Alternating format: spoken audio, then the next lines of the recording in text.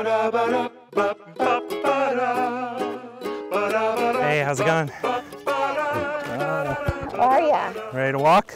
Definitely. I was looking to make some extra money. I thought about walking dogs, but I didn't want to pick up dog poop because I don't. Who wants to do that? Meet Chuck McCarthy, better known as the People Walker.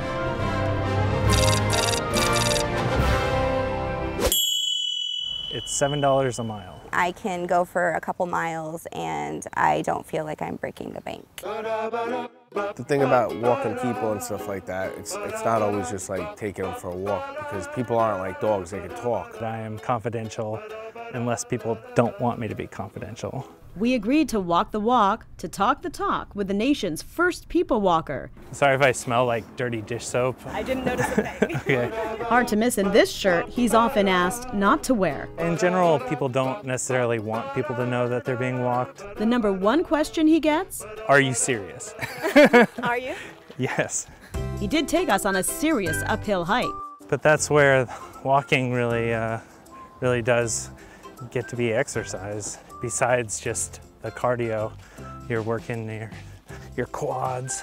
Sweating it out, one client at a time. It sounds crazy, but it's a good idea. Now it just seems like a totally normal, regular thing. I am not a personal trainer. I'm not a physical therapist. I'm not a doctor. When I feel like I'm helping people, that's what superheroes do, right? Sometimes people just need to go for a walk.